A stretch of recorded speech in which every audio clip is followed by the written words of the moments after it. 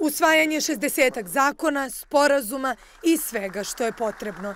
Tako će vlast iskoristiti preostalih 10 dana do raspisivanja izbora, jer je u kampanji, kako kaže politikolog Boban Stojanović, već odavno. Vučić svaki dan je na nekoj televiziji i e, insistira na neke tri teme, to je da on neće dati Kosovo i Metohiju, svaki dan će vrlo verovatno otvarati nešto poput Prokopa ili autoputa i naravno pričat će o BDP-u, BDP-u, BDP-u, rastu zarada i tako dalje u brojkama koje apsolutno niko ne razume, ali sa pokušajem da ljudima stvori percepciju da on brine o njihovom socijalnom statusu i životnom standardu.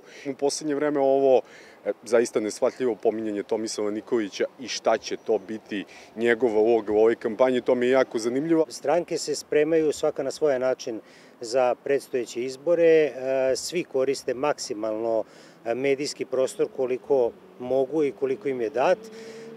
Viđemo sada aktere svih političkih stranaka u medijima i oni jednostavno sada svoju politiku treba da predstave na što koncizniji i što, što bolji način. Jer sve ono što su govorili prethodnih meseci ili godina, govorim sada o ovim manjim strankama opozicije, sada treba da konkretizuju. A konkretizovano je ukrupnjavanjem proevropskog dela opozicije. Vidim da će se iznedriti možda neki novi lideri ili ne možda novi, ali da će se iskristalisati. Ne, mogu, ne, može, ne možete da očekujete da osam stranaka ili koliko ih ima već u tom bloku, da svi podjednako doprinesu nekom boljem rezultatu. Tu očekujem da se istaknu dve ili tri ličnosti koje će da predvode tu opoziciju. Međutim, po mišljenju politikologa Stojanovića, sve je to trebalo uraditi odavno. Desni deo opozicije trebalo je da zna s kim ide na izbore još u januaru, kada je prihvaćen francusko-nemački plan.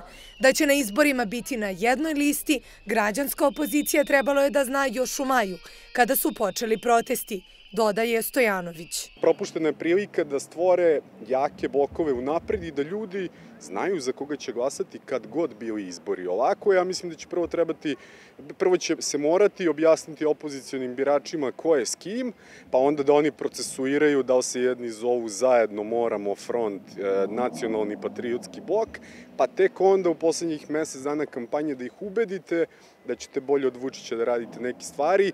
Ako bude po jedna izborna lista sa, sa svake strane, to će biti dobro i verujem da će neki ljudi motivisati i dati im veru da su promene moguće. Zahtevati izbore, a ne znati u tom trenutku kako na njih ići, bilo je pogrešno, zaključuje Boban Stojanović. Marija Čanković, Televizija Nova.